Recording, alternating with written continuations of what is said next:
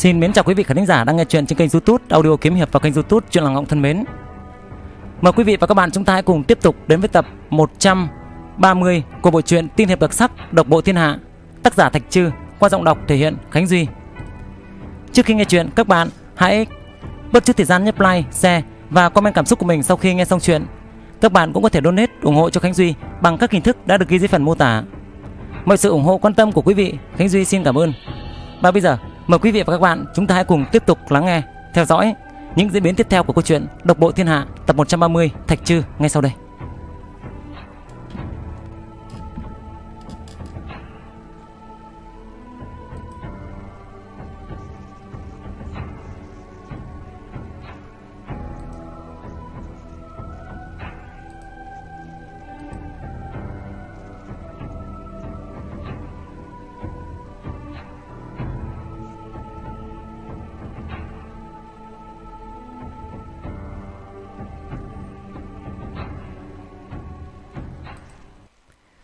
Tiếp theo phần trước, lại nói lúc bấy giờ, Diệp Phúc mừng tỉnh đại ngộ, vội vàng đa tạ chiều công thiều rồi đi đến tổng đàn của hoàng tuyển ma tông. Còn chưa vào tông chủ đại điện thì đã thấy Vinh Lâm mặt đầy tươi cười đi ra. Vinh huynh ứng sư huynh có ở đây không vậy?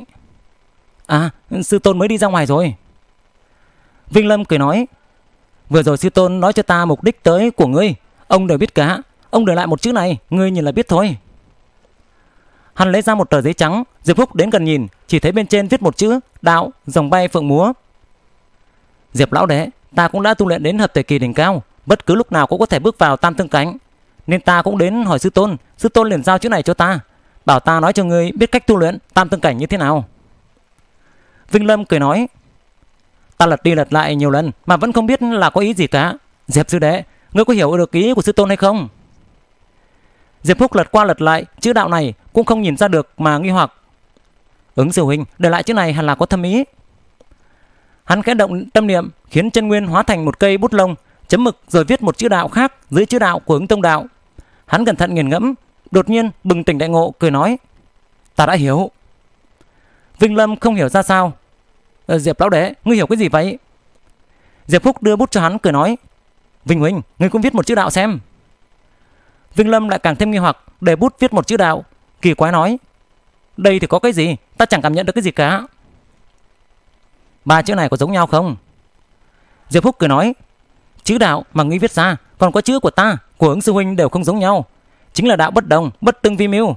Đạo tu luyện tam tương của ta và đạo tu luyện tam tương của ngươi không phải là cùng một đạo, bởi vậy đạo của ngươi cần chính mình tự đi.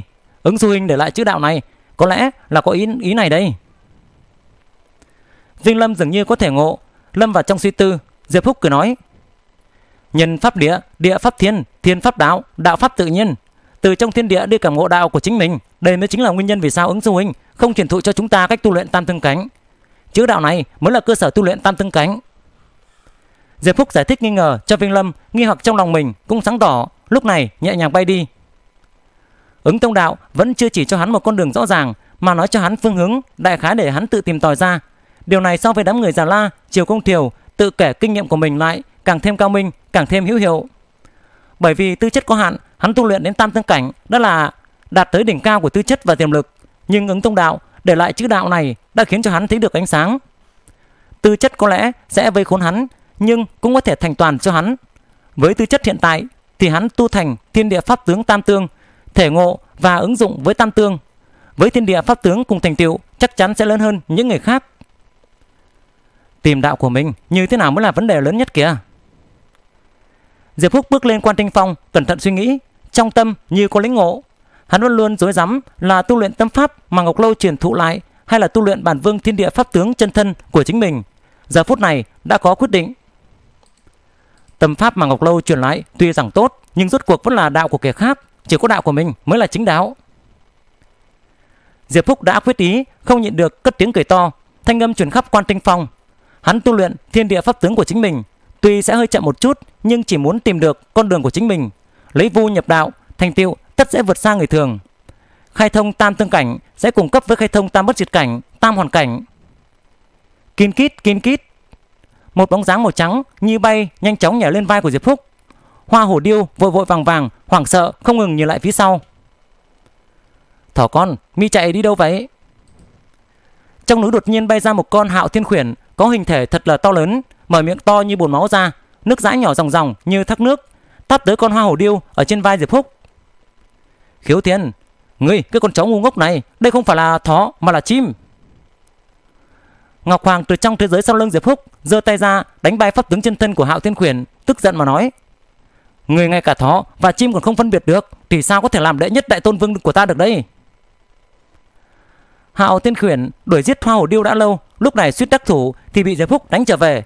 Nó phẫn nộ từ dưới chân núi bay lên Bay lên vai phải của Diệp Phúc Không hảo ý nhìn hoa hổ điêu ở trên vai trái Nước miếng chảy ròng ròng. Một con thỏ tên hoa hổ điêu Chủ công cho tôi nếm thử một miếng Nếm thử thịt nó một miếng thôi Là tôi biết ngay nó có phải là thỏ hay không.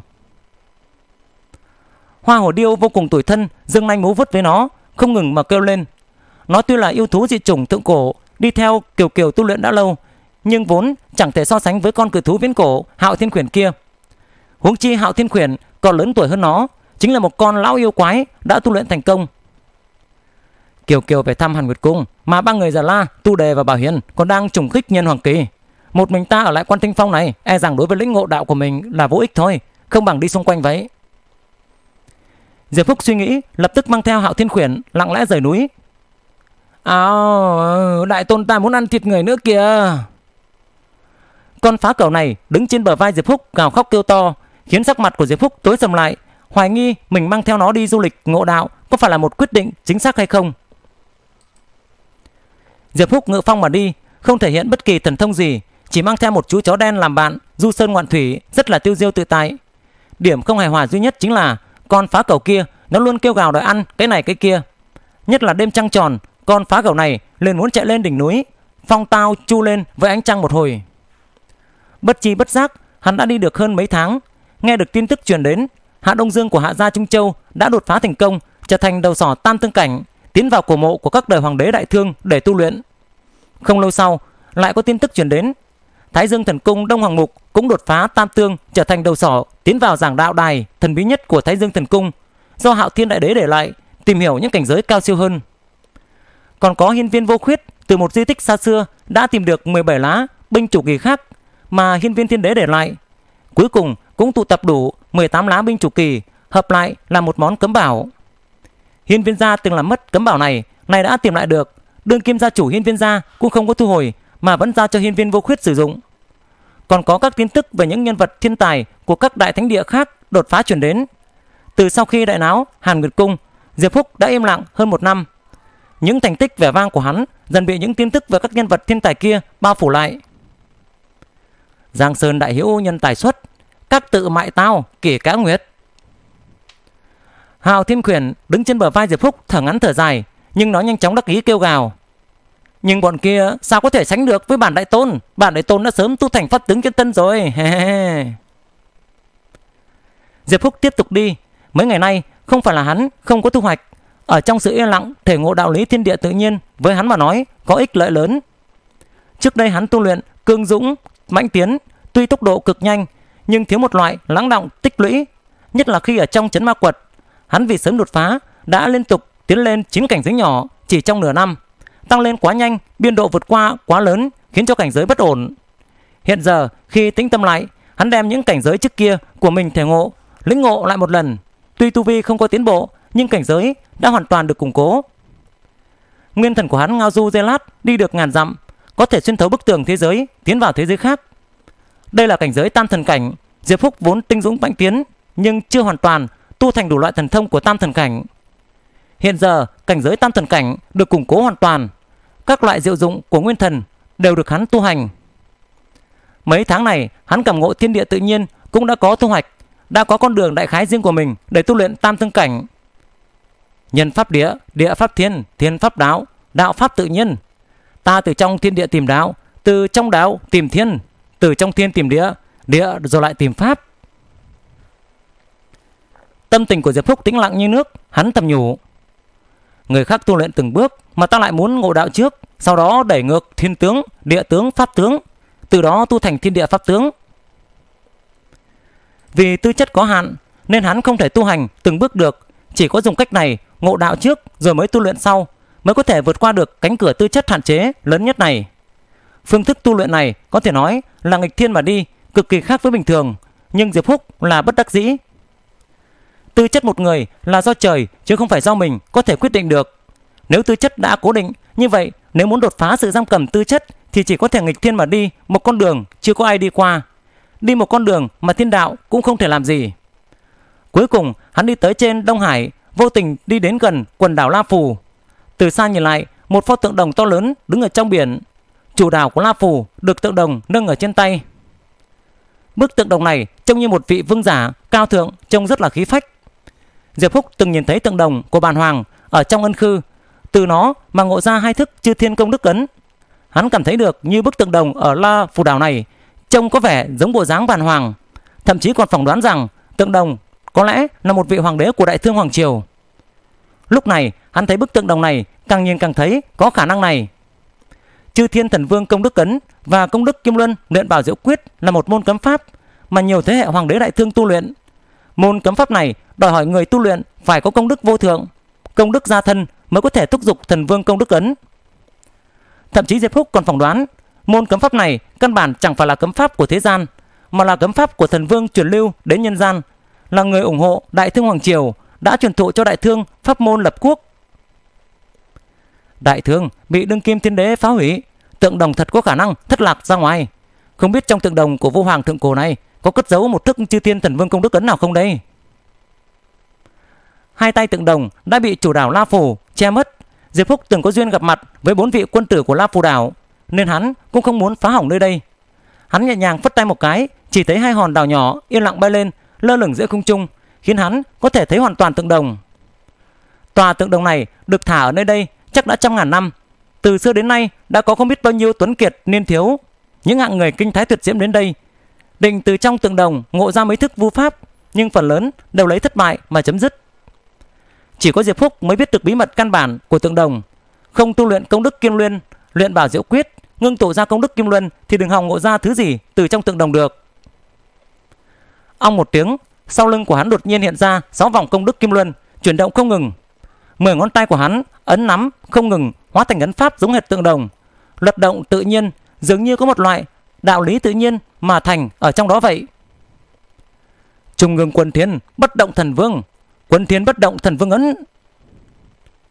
Thân hình Diệp Phúc chấn động, tay nắm ấn pháp, lập tức một luồng hơi thở mênh mông phát ra từ trên người của hắn, hắn dường như hóa thành trung ương quân thiên thần giới, nguy nga lộng lẫy, thân thể dung nhập thiên địa, liên kết với nơi đây. Thiên địa bất diệt, ta bất diệt, thiên địa bất tử, ta bất tử. Hắn là thần vương tồn tại vĩnh hằng, thống ngự trung ương quân thiên. Tòa tượng đồng này chất chứa một thức chư thiên thần vương công đức ấn, có tên là quân thiên bất động thần vương ấn, chính là ấn pháp có lực phòng ngự mạnh nhất trong các thần vương công đức ấn. Loại ấn pháp này thi triển ra sẽ khiến cho toàn thân tràn ngập thần uy của trung ương quân thiên thần vương như vị thần vương ngồi trên trung thiên, thân thể vô cùng rộng lớn, cao vô cùng, vĩnh hằng bất động, vạn kiếp bất diệt, vạn cổ bất hóa, sừng sững trung ương, hùng hậu như hoàng thiên hậu thổ, không người có thể di động, không ai có thể phá được. Ta chính là quân thiên, ta chính là thần vương, ta vĩnh hằng bất động, vô sinh lão tử. Trong lòng của Diệp Phúc không khỏi sinh ra loại cảm xúc kỳ lạ này, dường như giờ khắc này, hắn thật sự biến thành thần vương, thống ngự trung ương quân thiên, vĩnh hằng bất động, chấn thủ trung ương. Đây là một loại ấn pháp cực kỳ dũng mãnh, tuy không có bất cứ uy lực gì, nhưng khi sử dụng sẽ có được phòng ngự không gì phá nổi. Hắn lấy được thức bất động thần vương ấn này xong, liền nhảy lên, đặt La Phù Đảo lên trên bàn tay của tượng đồng, rồi nhẹ nhàng bay đi, cũng không có ý định ôn chuyện với đám tứ quân tử và vạn pháp yêu vương. Muốn học toàn bộ chư thiên thần vương công đức ấn thì chỉ có vào ân khư một lần nữa, thăm dò mộ của các thế hệ vô hoàng bên trong ân khư. Diệp Phúc nghĩ tới đây, lập tức tế đại uy long chiến hạm lên, phi thân lên chiến hạm rồi bay tới cảnh nội đại hán. Hắn đi không được bao lâu mới có bóng người phóng lên từ La Phù đảo, giáo giác mà nhìn khắp mọi nơi. Diệp Phúc đi đảo ngộ đạo mất gần mấy canh giờ nhưng chẳng ai phát hiện ra. Mãi cho đến khi hắn ngộ ra bất động thần vương ấn, thi triển loại ấn pháp này ra thì đám người vạn pháp yêu vương mới phát giác, nhưng bị khí thế của hắn chấn trụ, không thể động đậy. Sau khi Diệp Phúc rời đi mới có thể thoải mái hành động. Người vừa rồi đến Tụt cùng là ai đấy Vạn pháp yêu vương kinh nghi bất định Thất thanh mà nói một hơi thở thật mạnh Ép cho ta cũng không thể động đậy được. Chẳng lẽ là vị tiền bối nào đó qua đây, Rồi quan sát đo lường tượng đồng hay sao? May mà người này không động tham niệm, Nếu hắn nhìn chúng là phù đảo của chúng ta, Chỉ sợ muốn cướp đi cũng thật dễ dàng. Một gã Một gã thật khủng bố. Một tên đại yêu lẩm bẩm nói, Vạn pháp yêu vương một trận không nói gì, Hắn cười nói. Người tu luyện đến cảnh giới này La phù đảo của chúng ta với hắn mà nói, Chỉ sợ vốn chẳng nhập nổi pháp nhãn nữa rồi. Vứt trên mặt đất cũng không nhặt, Chứ đừng nói là cướp đoạt kìa. Vài tên đại yêu không tin, Một kẻ cười nói, La phù đảo ta, cuộc cải vô số, Chỉ sợ dù là thánh địa trong truyền thuyết Cũng phải đỏ mắt ghen tị kìa. Vạn pháp yêu vương không nhận được lắc đầu, Bọn người kia thật không có kiến thức, Thật sự nghĩ rằng La phù đảo chính là thánh địa trong thiên hạ này. Lại nói, Tốc độ của đại uy long chiến hạm cực nhanh, Nó giống như một con rồng lớn lướt qua cung trung không lâu sau đã bay qua biển rộng Tiến vào lục địa Không biết cây cột buồm kia của ta Mà cắm vào đại uy long chiến hạm này Thì có thể khiến cho tốc độ của nó nhanh hơn vài phần không đây Diệp Phúc tò mò liền lấy cây cột buồm ra đánh vào trên đại uy long chiến hạm. Lập tức tốc độ của chiến hạm đột nhiên tăng lên mấy lần. ầm một tiếng đánh vỡ hư không, phá ra một cái động lớn. Ngay sau đấy, đại uy long chiến hạm xuất hiện ở ngoài ngàn dặm. Con thuyền này vừa hiện thân lại lập tức phá thông hư không, một đầu đâm vào lại xuyên qua ngàn dặm. Loại tốc độ này nhanh đến vô nhận đạo, liên tục xuyên qua không gian, không ngừng khiến cho Hạo Thiên Khuyển hưng phấn mà nằm trên đầu thuyền kêu gào không ngừng. Đại uy long chiến hạm xuyên qua không gian liên tục, trong chớp mắt đã đi hơn 10.000 dặm đến vùng trung bộ Đại Tần. Diệp Phúc bỗng nhìn thấy phía trước xuất hiện một tòa thành lớn. Trong thành có những tử khí hình cự long bốc lên, chiếm cứ không trung tòa thành này. Đầu rồng hướng ra phía ngoài, dương nanh múa vuốt. Oanh! Đại uy long chiến hạm đột nhiên dừng lại, tốc độ chậm đi. Chín nhánh tử sắc long khí này gia cố không gian nơi đây, khiến nó vô cùng cứng rắn, ngay cả bất diệt chi bảo như đại uy long chiến hạm cũng không thể đánh vỡ được. Là kẻ nào dám to gan làm cản ở đế đô đấy còn không mau ngừng chiến hạm lại quỳ xuống tỉnh tôi. Trong mồm của một nhánh tử sắc long khí bay ra một chiếc chiến hạm. Trong đó có một tôn thiên địa pháp tướng thật lớn phóng lên cao người này thân mặc kim giáp đầu đội kim khôi giống như một vị cổ thần lâm thế giơ bàn tay to hơn 10 vài dặm ra chụp tới đại uy long chiến hạm sao nơi này là đế đô hàm dương sao Diệp Phúc ngẩn ra, đôi mắt lóe ra ánh sáng. Hắn như không thấy tin địa pháp tướng của vị cường giả kia, ánh mắt lại nhìn đến đế đô Hàm Dương. Thủy Hoàng đế, lúc sắp chết ông đã bảo ta không được đến, nhưng giờ ta đã đến đây rồi. Đế đô Hàm Dương, để ta nhìn xem, rốt cuộc là ai đã cướp đi đại tần của ông nào. Tòa thành lớn ở bên dưới chính là đế đô Hàm Dương, thủ đô của đại tấn. Tòa thành này cảnh sắc trắng lệ, chiếm cứ tổ long chi mạch, long khí bốc lên hóa thành chính con tử sắc cử long, giống như đúc từ vàng, đại diện cho sự tôn quý của hoàng triều, vô cùng uy nghiêm. Diệp Phúc nhìn thấy xa xa có những dãy núi hùng vĩ, uốn lượn, có tổng cộng 12 dãy núi. Những dãy núi đó giống như chân long, đá núi như long lân, làm cho người ta nghĩ đến đây là 12 con cự long, bất cứ lúc nào cũng có thể dung thân rồi bay lên trời cao. Long khí nơi này cực kỳ nồng đậm, tuy nhiên lúc này đây, đầu của long mạch ở trên núi lớn đã có một tôn đồng nhân bằng vàng chói lóa đứng sừng sững trên đỉnh núi. Đây là khí thế chấn quốc của Đại Tần, Đô Thiên Thập Nhị Đồng Nhân, cấm bảo bán thành phẩm mà Thủy Hoàng đế luyện chế ra, dùng nó để chấn áp Tổ Long Chi Mạch, bảo vệ xung quanh đế đô Hàm Dương. Đế đô Hàm Dương chiếm cứ Tổ Long Chi Mạch so với thánh địa như Hoàng Tuyển Ma Tông còn to lớn, đồ sộ hơn rất nhiều. 12 con rồng hội tụ ở nơi đây bị 12 đồng nhân chấn áp, linh khí trong long mạch dung nhập vào trong đế đô, khiến cho đế đô hóa thành một thánh địa, tu luyện trong đế đô hơn xa bên ngoài. Loại thủ bút này chỉ có vị hoàng đế có ý chí thiên hạ mới có thể làm được. Thủy hoàng đế lập quốc ở nơi đây có ý chí trở thành vua hoàng, thống nhất thiên hạ. Đáng tiếc là đế quốc của ông lại bị kẻ khác chiếm mất rồi.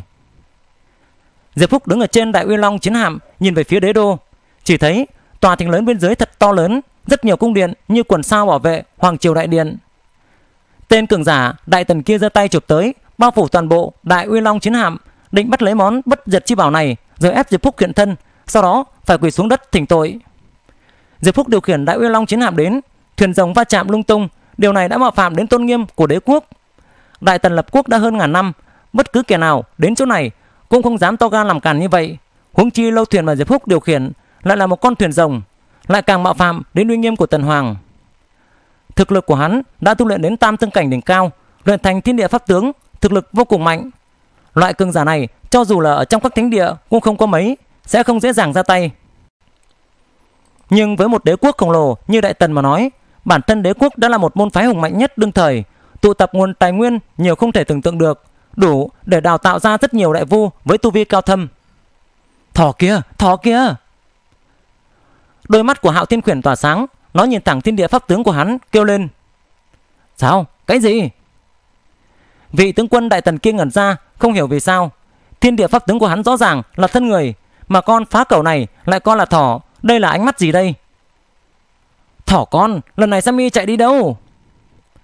Hạo Thiên Quyền mừng quá, cái đầu nhắng lên, hóa thành to như quả núi, há miệng táp tới, cắn đứt bàn tay thiên địa pháp tướng của vị tướng lĩnh đại tần kia ngay tại chỗ. Răng rắc răng rắc, con phá cầu này há miệng táp tới cánh tay của hắn, cắn đứt luôn cả một cánh tay của thiên địa pháp tướng của vị cường giả này. Đầu nó thò ra hơn 10 dặm, vẫn tắp tới chân thân của thiên địa pháp tướng. Hiển nhiên là nó định ăn hết cả thiên địa pháp tướng của người này. Khốn kiếp, ở đế đô Hàm Dương mà người dám thả chó ra hành hung sao? Tên cường giả đại tần kia vừa sợ vừa giận, vội thu hồi pháp tướng lại. Thực lực của hắn không thể coi là không cao minh, uy lực chất chứa trong thiên địa pháp tướng kia vượt xa cả nguyên thần. Nhưng đối mặt với con cự thú viễn cổ Hạo Thiên Quyền này thì kém coi hẳn. Hắn bị con Hạo Thiên Quyền này ăn đi cả một cánh tay, thiên địa pháp tướng tổn hao đi nhiều uy năng. Đế đô Hàm Dương không phải nơi ngươi có thể dương ngoài, diễu võ. Tiểu tử, hôm nay ngươi chỉ có một con đường chết mà thôi. Hắn giận dữ quát lên một tiếng, rồi thúc giục chiến hạm chạy tới, định đâm thật mạnh lên đại uy long chiến hạm. Thỏ con, mi ngay cả chó còn không bằng, sao có thể tranh phong cùng chủ công ta được? Hạo Thiên Khuyển kêu lên, mở cái miệng lớn như một cái động đen khổng lồ, chờ hắn đưa đồ tới cửa, tự lái thuyền vào trong miệng của nó, rồi sau đó thuận lợi mà ăn luôn. Tên cường giả đại tần kia cười lạnh một tiếng, thiên địa pháp tướng lại xuất hiện, một cánh tay cầm lấy một chiếc diều lớn, chém thật mạnh vào trán của Hạo Thiên Khuyển. Keng một tiếng, đầu chó bắn ra tia lửa tung tóe. Tên cường giả đại tần kia chỉ cảm thấy như mình chém vào thứ kim loại cứng rắn nhất, không những không thể chặt đứt được đầu con phá cầu này, mà lại chấn cho tam tương chi bảo của hắn bay tít lên cao. Trong lòng không khỏi kinh hãi. Hạo Thiên Khuyển ăn đau, vội vàng thụt đầu về. Tên cường giả đại tần kia chấp động ánh mắt, thúc giục chiến hạm đánh tới đại uy long chiến hạm, phẫn nộ mà quát lên. Còn không xuống thuyền, quỳ xuống nhận tội ư? Diệp Phúc vẫn đứng bất động ở mũi thuyền.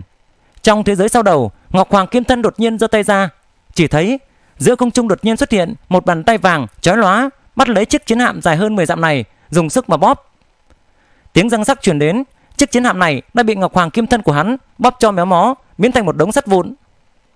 Tên cường giả đại tần kia hoảng loạn phi thân khỏi chiến hạm. Khi hắn quay đầu nhìn thì thấy Diệp Phúc há miệng hút chiến hạm của hắn vào trong bụng.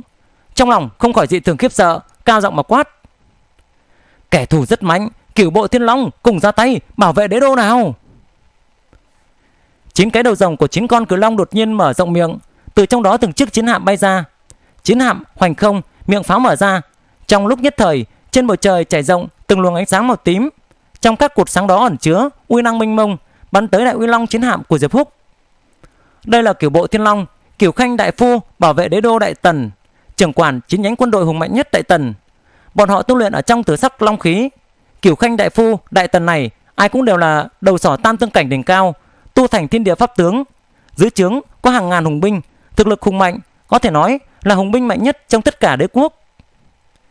Hiện giờ Cửu Khanh đại phu, Cửu bộ Thiên Long đều xuất hiện, thúc giục chiến hạm đồng loạt đánh tới Diệp Phúc, định đem kẻ xâm nhập này đánh thành cặn bã. Công kích mạnh như vậy, cho dù là lão quái vật tam bất diệt cảnh đã tu thành thân thể bất diệt cũng chỉ có thể tránh né. Nếu không, thân thể sẽ trực tiếp nổ nát vụn. Diệp Húc lại như không thấy hàng trăm chiến hạm bắn cột sáng màu tím tới mình, ánh mắt của hắn vẫn nhìn chằm chằm đế đô ở bên dưới. Đế đô Hàm Dương. Toàn thân của hắn chấn động, Ngọc Hoàng Kim Thân bước ra khỏi thế giới sau đầu của hắn, quanh chân ngồi giữa không trung, kim thân vạn trượng, đại phóng quang mang. Trung ương bất động, bất động thần vương. Ngọc Hoàng Kim Thân thi triển Trung ương Quân Thiên bất động thần vương ấn, Ấn pháp vừa ra khiến cho Ngọc Hoàng Kim Thân chấn thủ trung tâm thế giới như một vị thần vương hàng cổ bất động, tương dung với thế giới xung quanh, vĩnh hằng bất động, vạn cổ bất biến, vạn cổ bất hóa. Vô số cột sáng màu tím đánh lên Ngọc Hoàng Kim Thân giống như kiến cảng lai cây, căn bản chẳng thể lay động nổi người khổng lồ này. Dương Thiên Thần Vương, U Thiên Thần Vương, Nhật Nguyệt tương sinh. Diệp Phúc khởi động tâm niệm, một tiếng ong vang lên. Bảy vòng công đức kim luân dựng thẳng lên sau đầu, Ong ong chuyển động giống như thần vương thống ngự chư thiên giáng lâm vậy. vô số âm thanh truyền ra từ trong công đức kim luân. Phạm nhân, thiên ma, Atula, ác quỷ, tà Phật, thiên thần, sa đọa đều đọc ma kinh, ca ngợi uy năng của Diệp Phúc, gia chỉ kim thân cho hắn. Ngọc Hoàng kim thân giơ một bàn tay vàng lên, bao phủ hơn 10 dặm. Trong lòng bàn tay, Dương Thiên Thần Vương diệt kiếp ấn và U Thiên Thần Vương độ ách ấn liên kết, hóa thành một mặt trăng, một mặt trời, xoay tròn với nhau, đánh thật mạnh xuống đế đô. Bàn tay của hắn vô cùng rộng lớn, mà mục tiêu công kích lại chính là trung tâm đế đô Hàm Dương, nơi đàn cung điện bảo vệ hoàng cung. Mặc kệ ngươi là ai, hiện hình nhận lấy cái chết cho ta. Diệp Phúc quanh chân ngồi trên mi tâm của Ngọc Hoàng Kim Thân, Kim Thân vạn trượng, giơ tay che trời, một trưởng hạ xuống Hàm Dương, khiến tòa đế đô ngàn năm này ầm ầm rung lên, dường như sắp bị một bàn tay của hắn chụp vỡ vậy. Đại quân kiểu bộ Thiên Long nhìn thấy cảnh tượng này đều cả kinh, ngây người mà không biết phải làm sao. Đã ngàn năm từ khi Đại Tần lập quốc đến nay, đây là lần đầu tiên có kẻ dám quang minh chính đại tấn công thủ đô Đại Tần, công kích đế đô của một quốc gia. Năm đấy, Thủy Hoàng đế tung hành thiên hạ, đánh khắp thiên hạ không địch thủ, tập trung ngũ hành kim khí trong thiên hạ, về rèn 12 đồng nhân, lập quốc Hàm Dương, thành lập sự thống trị của Đại Tần. Ngàn năm đã qua, dư uy còn tại, đây vẫn là lần đầu tiên có người cả gan làm loạn, trực tiếp tấn công đế đô Hàm Dương như vậy. Yêu nghiệt phương nào dám to gan công kích đế đô, không biết sống chết sao? Bên trong đế đô bên dưới, một tôn thiên địa pháp tướng phóng lên cao, hóa thành một vị chiến thần oai phong lẫm lẫm, ngẩng đầu nhìn lên, đánh tới một quyền, chạm vào bàn tay nhật nguyệt luân hồi của Diệp Phúc. Oanh một tiếng, đế đô Hàm Dương giống như nổi lên một trận gió lốc thật lớn, mặt đất rung chuyển, ngàn cung vạn điện rung động không ngớt, giống như bất cứ lúc nào cũng có thể bị phá hủy trong dư ba giao thủ giữa hai người. Lại chính vào lúc này, 12 đồng nhân bảo vệ xung quanh đế đô phóng ra ánh sáng, tản ra từng luồng hơi thở cấm bảo, bình ổn dư ba kia lại. Đại vu tám bất diệt sao? Diệp Phúc khiếp mắt nhìn, trong lòng thấy hơi kinh ngạc. Người này có thể tiếp được thủ ấn nhật nguyệt luân hồi của hắn, thực lực chắc chắn đã đạt tới tam bất diệt cảnh. Tu vi của hắn tuy mới đạt tới tam tương cảnh, pháp tương kỳ, nhưng châu báu đã thành, cùng cảnh giới đã là vô địch.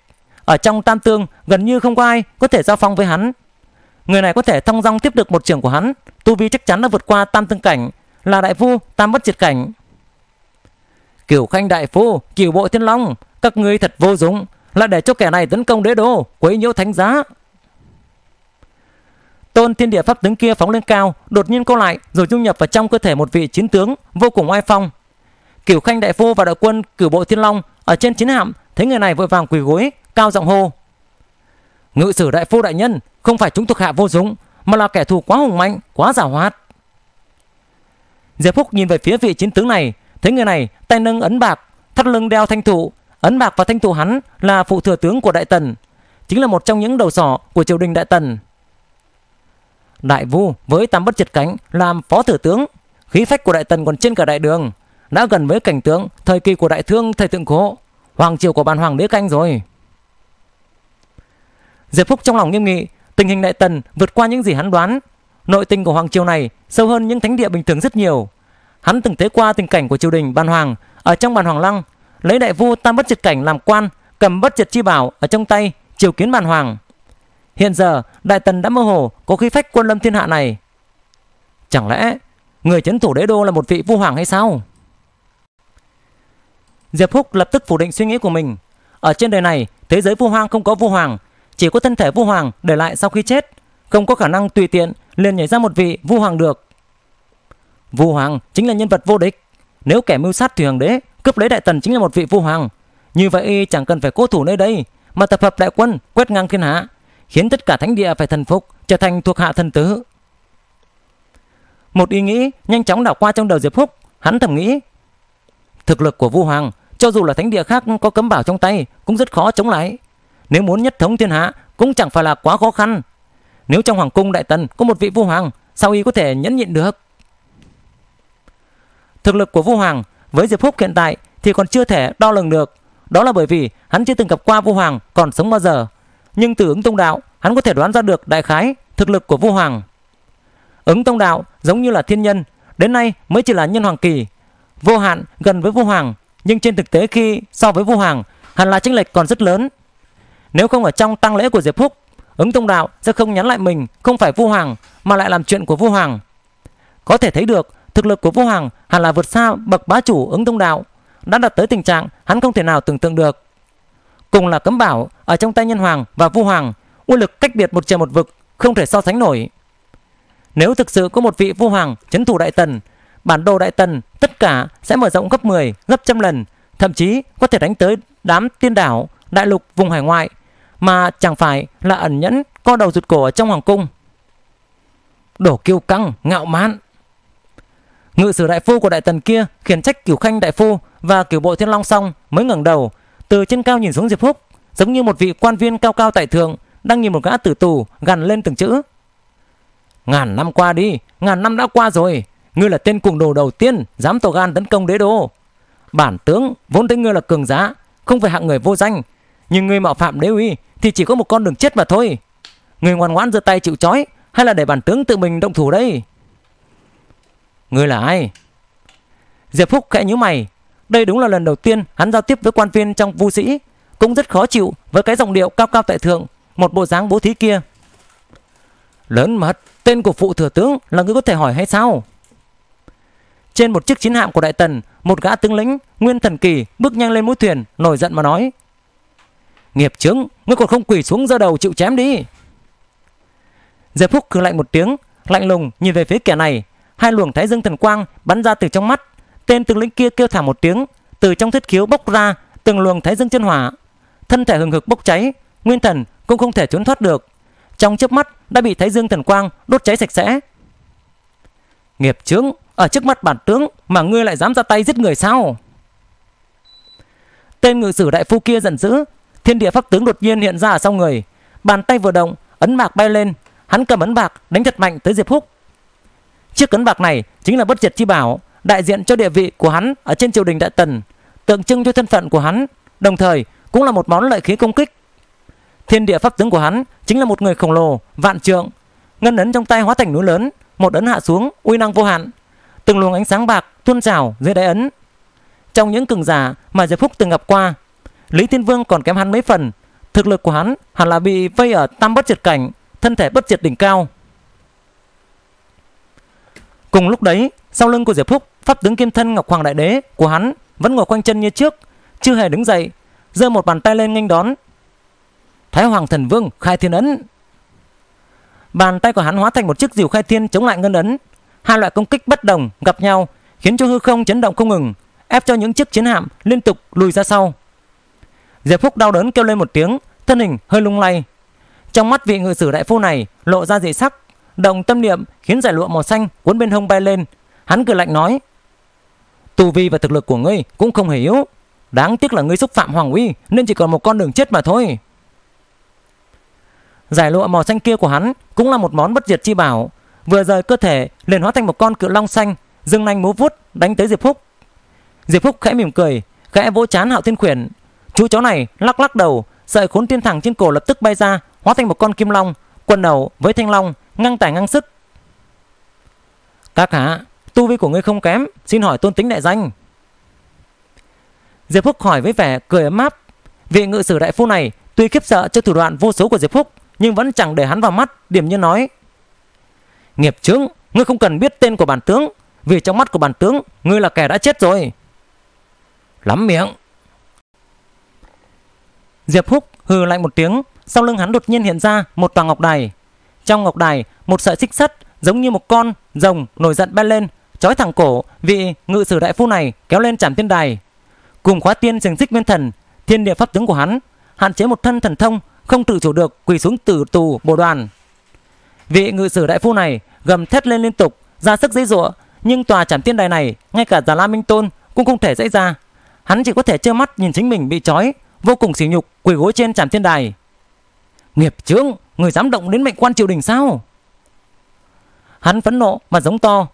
Ta ta chính là ngự sử đại phu của đại tần, đường đường phụ thừa tướng. Diệp phúc làm ngơ, lệnh cho trảm tiên đao bay lên cao, đao lên đao xuống, một cái đầu cực lớn rơi xuống. Chiêu hồn phiên lập tức thu tàn hồn của vị đại vua tam bất diệt cảnh này lại. Không đến một giây, vị phó thừa tướng của đại tần, đường đường lão quái vật tam bất diệt cảnh đã chết trong tay diệp phúc ta vốn hỏi tên của ngươi rồi mới giết, để biết ai chết trong tay ta. Mà ngươi lại chậm chạp không chịu nói ra, khiến cho ta tức giận, giờ đành phải làm con ma oan khuất thôi. Diệp phúc vừa đối mặt một cái, liền chém chết ngự sử đại phu. Hắn lập tức vung tay lên, chiêu hồn phiên bay ra khỏi tạ trảm tiên đài, rơi vào trong tay của hắn. Diệp phúc cúi đầu nhìn, chỉ thấy trên chiêu hồn phiên xuất hiện một cái tên, cười lạnh mà nói, hóa ra, ngươi tên là từ phương hộ thất kính thất kính rồi. Hắn khẽ động tâm niệm, lôi tàn hồn của từ phương hộ ra khỏi chiêu hồn phiên, trực tiếp siêu hồn tắc phách hắn. Kiểu khanh đại phu và kiểu bộ thiên long ngơ ngác nhìn tất cả. Bọn họ hoàn toàn không ngờ, vị từ thừa tướng ngoại phong lẫm liệt, thậm chí không định hỏi tính danh của diệp phúc mà đã ra tay giết hắn luôn kia. Chỉ đối mặt một cái, đã bị chém đầu đầu thân khắc chỗ, mất mạng ngay lập tức. Sát! Giết tên ác ma này, bảo vệ đế đô! Kiểu bộ thiên long dưới sự chỉ huy của kiểu khanh đại phu điều khiển chiến hạm nhanh chóng vọt tới. Pháo hỏa liên thiên, khí thế những người này tương liên lại câu động chín dòng tử kim long bảo vệ đế đô kia.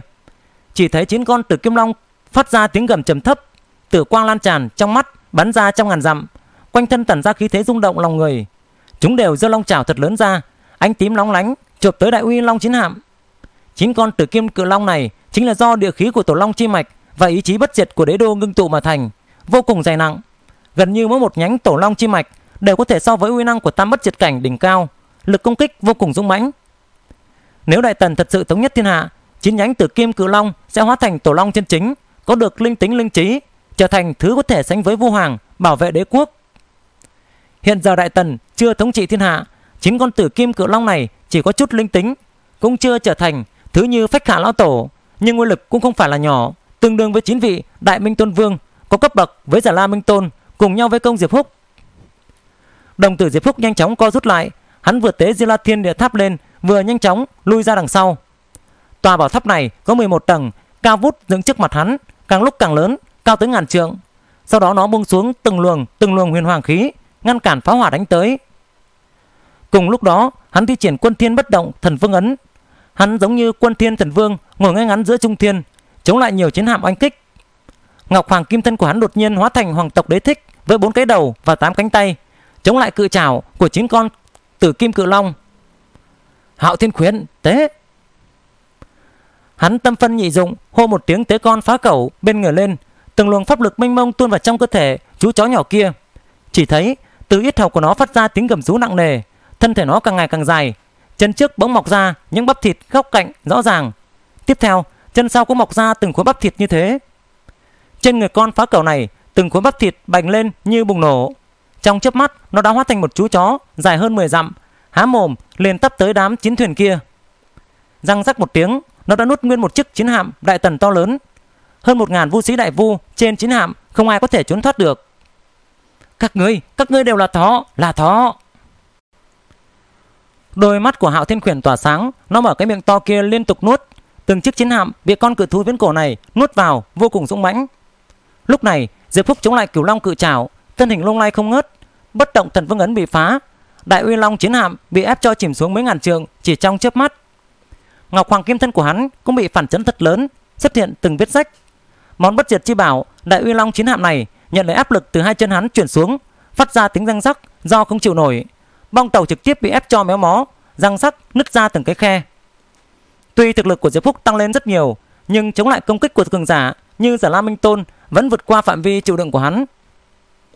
Miệng hắn tràn đầy máu, làn da nứt ra, tóc tai dựng lên, hắn nổi giận đùng đùng, đả khơi tinh thần, đem công kích của chính con tử kim cự long đều nhận hết. Long uy trên người chúng tản đi, tử quang trong mắt cũng dần dần co rút lại, từ từ thu hồi long chảo chúng nó chưa chân chính hình thành linh khí, hóa thành sinh linh, trở thành vị thần bảo vệ đại tần, mà mới chỉ là bị khí thế của cửu bộ thiên long dẫn sắt nên mới công kích diệp phúc mà thôi hiện giờ kiểu bộ thiên long và kiểu khanh đại phu đều bị hạo thiên quyển do diệp phúc tế lên kia, đánh cho hoa rơi nước chảy, thương vong thảm trọng, khí thế suy tàn. Đương nhiên, không thể tạo thành cộng hưởng với chính con tử kim cửu long kia. Diệp phúc nuốt xuống một ngụm kim huyết đã nảy lên yết hầu, ánh mắt lạnh lẽo. Hắn cúi đầu nhìn xuống đế đô hàm dương, bên dưới quát to một tiếng rồi tương dung ngọc hoàng chân thân và thân thể của mình. Kim thân của hắn vạn trượng như một vị thần vương lâm thế, bước nhanh về phía trước. Bùn một tiếng trời xanh vì một bước của hắn dẫm cho sụp đổ, xuất hiện một dấu chân màu đen thật lớn, nhìn mà ghê người đế đô hàm dương, phá cho ta diệp phúc từ trên cao nhìn xuống, nắm đấm của hắn to như núi, đánh mạnh xuống đế đô hàm dương hiện giờ, hắn hoàn toàn đã muốn thay đổi, định lấy thực lực của bản thân đánh tan tòa thành này, ép cho vị đại cao thủ núp sâu trong đế đô, kẻ đã cướp đế vị của tiểu hoàng đế kia ra. Từ trong trí nhớ của Từ Phương Hộ mà Diệp Phúc đã hiểu biết khá rõ ràng về thực lực của triều đình Đại Tần. Từ Phương Hộ thân làm ngự sử đại phu, phụ giúp thừa tướng, nhưng trên ông ta còn có nhiều người lợi hại hơn rất nhiều. Trong triều đình Đại Tần, trên ngự sử đại phu còn có tả hữu tướng quốc, đại tướng quốc, thái úy, thượng tướng quân và các quan chức khác nữa. Những người này thực lực và tu vi đều vượt xa Từ Phương Hộ. Đó là những đại phu đỉnh cao, tam bất diệt cảnh, cũng có thân thể bất diệt, nguyên thần bất diệt, thiên địa pháp tướng bất diệt. Thậm chí ở trong ký ức của Từ Phương Hộ, đại tướng quốc Lã Xuân Thu chính là một vị nhân hoàng. Trừ những người đó ra, trong hoàng thất đại tần còn có rất nhiều cao thủ, cường nhân, không những có các đại vua tam bất diệt cảnh, thậm chí nó không chừng còn có cả nhân hoàng tồn tại nữa. Thật quả là quá đối sâu xa, không thể nào lường hết được. Đại tần được cho là thánh địa lớn nhất trên đời, đương thời, thật quả không phải là hư danh. Vậy mà Diệp Phúc chỉ dựa vào sức lực và sự cứng rắn của bản thân mà dám tấn công đế đô Hàm Dương thì thực sự là một hành động có thể nói là quá liều lĩnh và lỗ mãng. Tuy nhiên, trong lòng Diệp Phúc không có một chút ý nghĩ nào về điểm này mà ngay cả sự an nguy của chính bản thân mình hắn cũng không hề nghĩ tới. Hắn một lòng chỉ muốn đại náo đế đô, bắt lấy việc cao thủ ẩn nấp trong đế đô, kẻ đã cướp đi đế vị của Thủy Hoàng đế. Hắn hướng đến Thủy Hoàng đế mà phát đi lời thề rằng khi còn sống trên đời nhất định sẽ vì hắn mà báo thù giờ hận, rằng nếu không báo được thù thì chọn đời này hắn sẽ không thể trở thành vua hoàng. Diệp Phúc khắc sâu những lời thề này từ đáy lòng không dám quên. Với hắn, Thủy Hoàng đế có ân nghĩa của một nửa người thầy. Về công về tư, hắn đều phải đích thân thăm dò, tìm tòi hết tất cả về đế đô Hàm Dương này. Giờ đây bên trong đế đô Hàm Dương, triều đình văn võ bá quan đều đã tề tụ đông đủ trên triều đường, lo lắng hồi hộp chờ đợi tần hoàng đế lên triều. Diệp Phúc lần này tấn công đế đô, quan ngự sử đại phu từ phương hộ ra trận chịu chết, chỉ kịp nói ra vài câu vô nghĩa, thậm chí đến tên của mình cũng không nói ra được thì đã u mê bị người chém mất đầu. Đây thật là một mất mát lớn lao cho sự tôn nghiêm của đế quốc. Phía trên là người nào? Tần Hoàng khoan thai đi đến, ngồi ngay ngắn trên long nghỉ, không vội vàng mà rất thông thả cất lời hỏi. Hắn với khí độ ung dung quý phái, trên thân long khí bao quanh, vầng trán rộng, trung đình đầy đặn, môi trên hai hàm trầm râu phân ra hai bên trái phải, giống như râu rồng vậy. Trong tướng mạo mờ mờ ảo đó, thật là chân long chi tướng, trời sinh dáng hình một bộ chân mệnh thiên tử. Khởi bẩm bệ hạ, người này là phong chủ quan tinh phong, hoàng tuyển ma tông, tên là Diệp Phúc Diệp Tiếu báo Không biết lý do vì sao mà điên cuồng tấn công đế đô của ta. Một nội thị phụ trách trưởng trị kinh sư tiến lên khom lưng nói. Tần Hoàng vẫn ngồi yên, đưa mắt nhìn quần thần xung quanh, nhẹ nhàng nói. Chỉ là một tên tiểu cuồng đồ, chẳng lẽ phải chấm tự mình ra tay bắt hắn mới được hay sao? Đại tướng quân mông chính tiến lên nói to. Không dám để bệ hạ phải vất vả, thần sẽ lập tức đi bắt hắn ngay. Nhưng tên Diệp Tiếu Bảo này là vẫn là một nhân vật của Hoàng Tuyển Ma Tông. Sau khi bắt hắn rồi, phải xử trí hắn ra sao? Xin bệ hạ ban cho khẩu dụ. Tần Hoàng thản như nói Giết để thể hiện chính pháp Đưa đầu hắn về Hoàng Tuyển Ma Tông Thì thế thì treo ra ngoài cửa ngọ môn Mông chính lĩnh chỉ lui về xuất cung đi bắt Diệp Húc Đột nhiên nghe thấy một tiếng nổ lớn Chỉ nhìn thấy vô số cung điện Bị một trưởng của Diệp Húc phá hủy Trong lòng không ngăn nổi cơn tức giận lên thẳng người nhảy ra khỏi đế cung Vừa ngẩng đầu nhìn lên Đã thấy Diệp phúc thân cao vạn trượng Xung quanh thân ánh sáng vàng chói lọi Đứng sừng sững trên không trung Phía sau đầu, bảy đạo công đức kim luân xoay chuyển không ngừng, phát ra từng trận ma âm giống như thần Phật vậy. Mông Chính nén giận mà cười, thiên địa pháp tướng hiện lên, dũng mãnh nhập vào trong cơ thể, giống như là thân thể vạn trượng cao lớn vô cùng, tay cầm phương thiên hỏa kích hướng về Diệp Phúc bổ tới. Hắn cười nhạt nói: "Yêu nghiệt, nhận lấy cái chết đi." Đinh một tiếng, phía trước Diệp Phúc đột nhiên xuất hiện một chiếc chuông vàng cực lớn, không có người đánh mà tự kêu. Đinh linh linh Ma âm từng trận, chiếc chung này cũng là hắn kiếm được từ kho báu của Tây Hoàng, Nam Thiên Môn, gọi là đáng hồn chung. Chiếc chung này vừa xuất ra, lập tức bông chính đại tướng, chấn động, thất điên bắt đảo, hồn bay phách lạc. Diệp Phúc nhân cơ hội đạp xuống một cước ngay vào đỉnh đầu của mông chính, đem thân người cao lớn vạn trượng bị đạp một cái từ trên cao rơi xuống, ầm ầm rơi vào trong đế đô Hàm Dương, làm sập đổ không biết bao nhiêu cung khuyết đại điện. Đã hồn chung là một bảo vật đặc biệt do Tây Hoàng luyện chế thành. Những bảo vật do Tây Hoàng luyện chế đều là những tinh phẩm, nhất là đã hồn chung. Lúc đầu khi Diệp Phúc ở Nam Thiên Môn thu được chung này, cũng đã bị một thiệt thòi lớn, suýt nữa còn bị cái chung này đãng tan hồn phách. Bây giờ hắn sử dụng chiếc chung này, mông chính đại tướng quân nhất thời không kiểm tra, tức thì mất đi tiên cơ, ngược lại còn bị hắn áp chế một bậc. Tuy nhiên, mông chính đại tướng quân dù sao thì cũng là cường nhân đỉnh phong, tam bất diệt cảnh, thân thể bất diệt, nguyên thần bất diệt, thiên địa pháp tướng bất diệt. Cho dù là đã hồn chung thì cũng không thể nào đánh nát được thần hồn, thần thức, thần phách của ông ta được. Nhưng Diệp Phúc đã đạp ngay một cước vào đầu ông ta, khiến cho ông ta từ trên cao giang tay giang chân thành hình chữ đại mà rớt xuống nằm sấp ngay trên mặt đất. Suýt nữa thì đè sụp cả hoàng cung. Bị đả kích lần này khiến cho vị đại tướng quân của đại tần vừa tức lại vừa vô cùng xấu hổ. Càn khôn đỉnh! Ông ta vừa đang tính toán đứng lên lấy lại thể diện của mình thì đột nhiên từ trong ngọc lâu đỉnh đầu Diệp Phúc một chiếc đỉnh lớn bay ra. Trong đỉnh càn khôn nhật nguyệt lanh lảnh trước mặt. Chiếc đại đỉnh này có bốn chân và hai tay, càng đến gần thì càng lớn, ầm ầm rơi xuống ngúp ngay trên người của ông ta. Chiếc đại đỉnh này rất nặng, nó ép mạnh tới mông chính đại tướng quân, thất khiếu phun lửa, nhất thời không thể dãy dụa hay đứng dậy được. Chiếc càn khôn đỉnh này cũng là do Diệp Phúc dùng kiều đỉnh đúc nóng mặt thành, lại được phách hạ lão tổ nhập vào các pháp lực của nhân hoàng, nên nó trầm trọng không gì so sánh được, thậm chí còn vượt xa những bảo vật của nhân hoàng. Diệp Phúc tuy rằng không thể phát huy được hoàn toàn uy lực của càn khôn đỉnh, nhưng có thể dùng nó để ép người. Hắn ép cho vị đại vua tam bất triệt cảnh đỉnh phong mông chính đại tướng quân đến nỗi không thể nào đứng lên được. Trong triều đường, cả triều đình văn võ bá quan thấy thế không còn lắc đầu. Mông chính đại tướng quân là tướng soái ba quân của đế quốc, là đại biểu cho vũ lực tối cao của đế quốc. Thế mà hôm nay lại bị một tên tiểu tử tam tương cảnh dùng vũ bảo ép tới không thể nào đứng lên được. Chuyện này mà đồn ra ngoài thì còn đâu là thể diện của đế quốc nữa đây. Giờ phút này, trong lòng mông chính đại tướng quân chỉ sợ rằng ngay cả đến tự sát ông ấy cũng đang nghĩ đến rồi. Ông ta đột nhiên tán đi thiên địa pháp tướng, làm cho thân thể kịch liệt thu nhỏ lại, rồi từ phía dưới đỉnh mà bay ra, da mặt đỏ bừng, ông cả giận nói: "Người, người dám, người dám ám hại ta sao?" Đón ông ta ở trước mặt lại là một cái mồm lớn đỏ như máu, đó cũng lại là Diệp Húc cho xuất hiện Hạo Thiên Khuyển. Con cự thú thời viễn cổ này hướng ông ta mà chồm tới. Một con chó cũng muốn ở trước mặt ta dương ngoài ư? Mông Chính giận dữ cười nhạt. Ông ta một lần nữa ngưng tụ ra một thân vạn trượng, thu hồi phương tiên hỏa kích. Món bất diệt chi bảo này tán phát ra những rung động khủng bố kinh hoàng. Ông ta là một cường nhân tam bất diệt cảnh đỉnh phong, đương nhiên có thể phát huy ra triệt để uy năng của bảo vật bất diệt này. Chỉ trong một hơi thở đã đem Hạo Thiên Khuyển ép cho thân mình không ngừng thu nhỏ lại. Chủ công, lão tử không xong rồi, con thỏ này quá mạnh. Hào Thiên Quyển trong mắt lộ ra vẻ rất sợ hãi. Trước đây nó luôn luôn chơi đùa, vui vẻ, vì không có một ai, không có một người nào có thể làm thương tổn đến thân cự thú phiến cổ của nó. Thế mà giờ đây, vị đại tướng quân mông chính này là đỉnh phong đại phu tam bất diệt cảnh, thực lực ngang bằng với đại minh tôn vương, nén giận mà ra tay, phát huy uy năng của bất diệt chi bảo đến tối đa, hoàn toàn có thể phá được thân thể cự thú viễn cổ của nó. Đinh linh linh. Đãng hồn chung lại một lần nữa vang lên, mông chính trong đầu mông lung, hồn phách chấn động, thất thần một khắc. Hạo Thiên Quyển nhìn thấy thời cơ, lập tức nhào lên, hung hăng cắn ngay một miếng. Thế là cả thịt cả da liền bị bứt ra một khối lớn.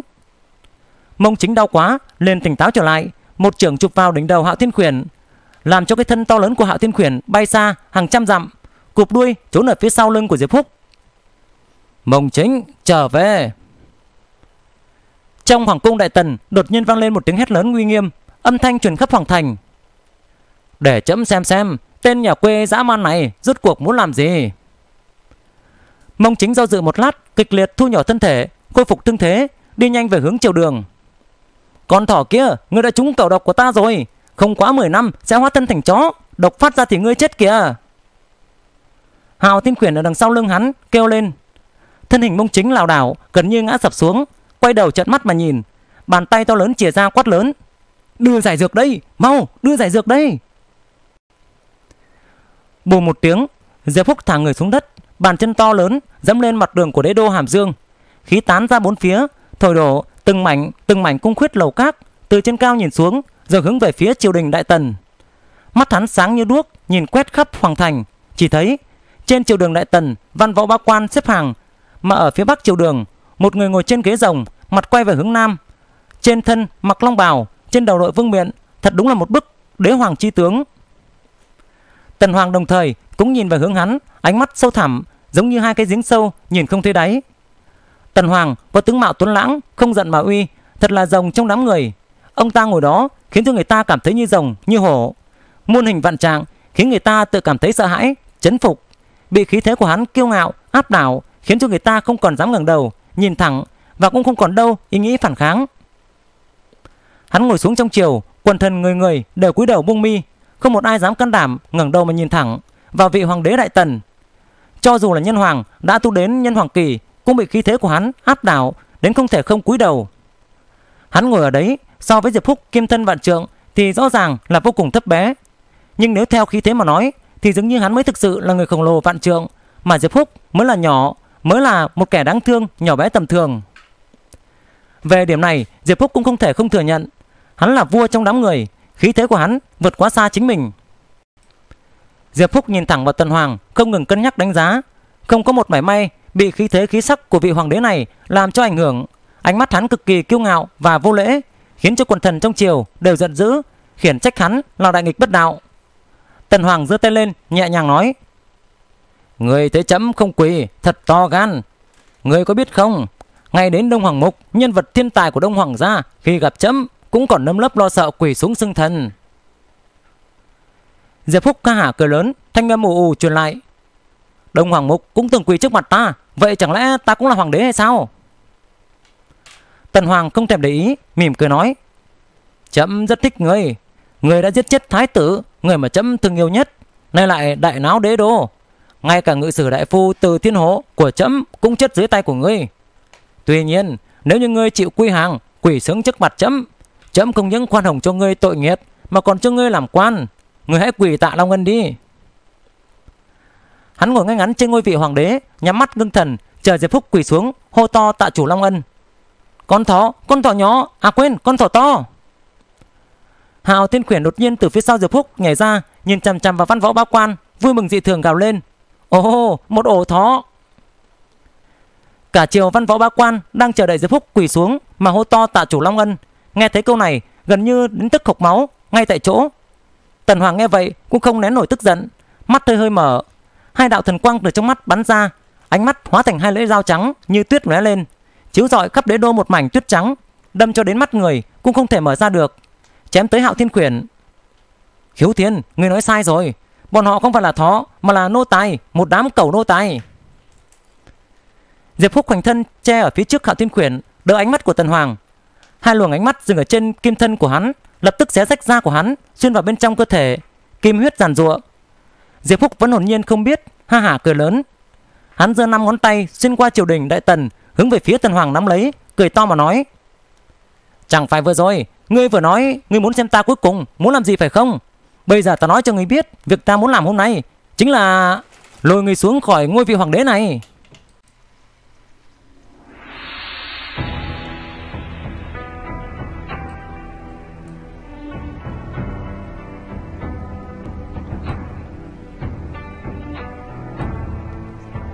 Kính thưa quý vị khán giả thân mến Tập truyện của ngày hôm nay của chúng ta tạm thời kết thúc tại đây. Khánh Duy chúc quý vị nghe chuyện vui vẻ.